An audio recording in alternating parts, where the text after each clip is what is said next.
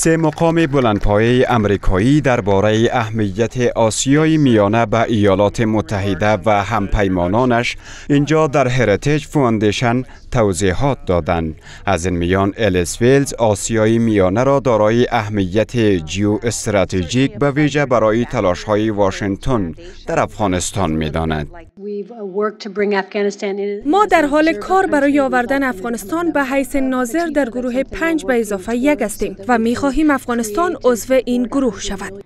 این مقام های امریکایی می که برنامه های گسترده واشنگتن برای مسئولسازی مرزهای کشورهای آسیایی میانه در برابر افغانان و گسترش داد و ستد این کشورها به افغانستان روی کار هستند.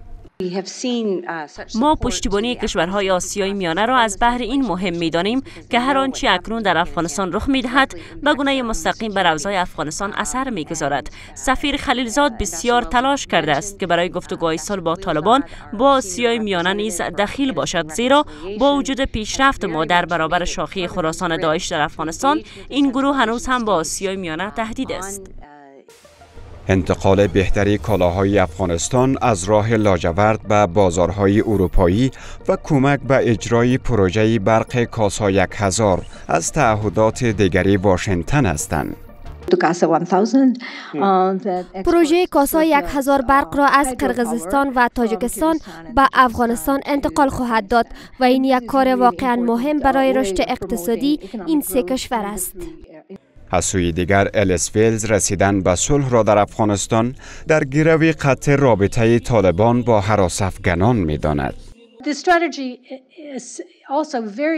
این مهم است که راهبرد ما در افغانستان وابسته به اوضاع است. توانایی ما برای رسیدن به صلح در افغانستان در نهایت به اراده طالبان برای رد حراس افغانی و محو چشمانداز استفاده افغانستان چون سکوی حراس افغانی در برابر دوستان ما و ایالات متحده است.